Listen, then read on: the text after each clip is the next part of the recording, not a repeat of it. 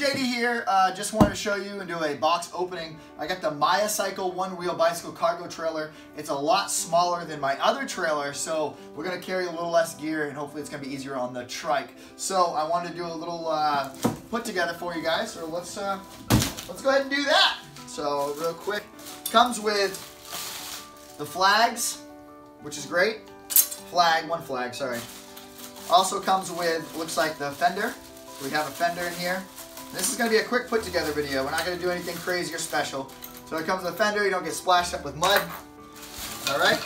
Also, when you're on Amazon, it'll actually ask you for a suggested purchase with the actual trailer is to get the um, actual axle that goes through your tire so you can clip on. You don't need to buy that extra add-on, and it was 30 bucks, so you probably don't want to save it, uh, save your money a little bit. It actually comes with the trailer, so you'll have that in here too. So that's great.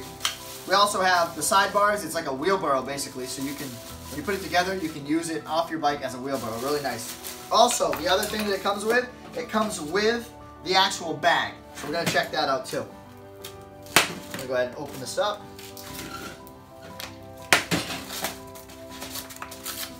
All right, probably not even supposed to take that off, that's fine.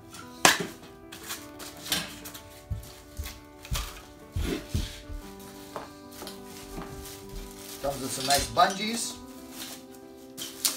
All right, so you got the bag right here. It's a pretty big bag, which is nice fit in there. Basically, it's like a duffel bag. So that right here, you open it up, it's got nice uh, solid zipper on it. A lot of people online said it was a cheaper zipper. Um, I used to stitch stuff myself. This is actually a pretty good zipper. So uh, it's pretty solid. And uh, yeah, it's got a lot of room in it. So there's the bag for you guys. We got the instructions manual, but nobody reads that stuff. So we're to get rid of that. All right. Then ah, we got some more cardboard. Make sure you check it. All right, now you got your pivot point. This is what connects to the bike. So what you're to do is you're to go ahead and slide this in here. Boom. It goes in just like that. So when you turn your bike, you can turn. You'll have a nice swivel point on it, okay?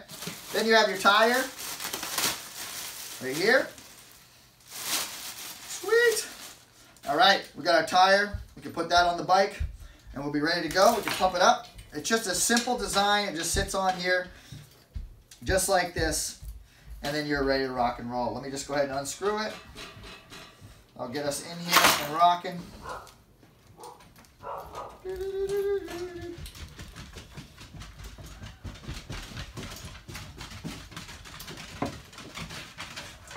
There we go.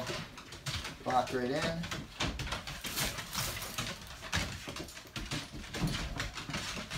As you can probably hear, we got some dogs upstairs. They're going crazy. They know that we're here. All right, sweet. I got the tire on. You want to tighten that, but it spins pretty good. I haven't pumped the tire up yet. And uh, you're going to connect it up to the bike. Right here. You got a little spot to put your screw. It's a lock nut. Just like that. There's a little spot for it. Boom.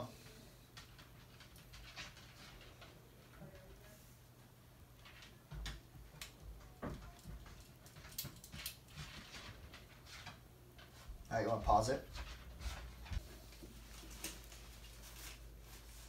Nice part about this is that it comes with this stuff. I got my sleeping bag, I got my tent, I got my air mattress on here. I'm going to put a lot more stuff on this, obviously, too, in the bag. And, yeah, so also, once you get your bicycle and you hook it up, you're going to take this out, and you're going to use this axle instead of what's on your bike. The reason being is this actually hooks up right on the outside of it so that you can ride the bike and it will sit on there just like that for you guys.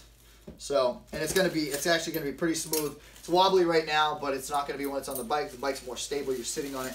Um, and that's, uh, that's what we got. It comes with the uh, nuts and everything that you need for it. So you're just going to put those on you're going to be good to go. And that's all we have. Have a great day. Love you guys. JD out. Subscribe to the channel. And also follow us on Twitter, Instagram, and like us on Facebook. Okay, thank you to our camera girl, Stephanie, too. I'll see you guys later. Bye.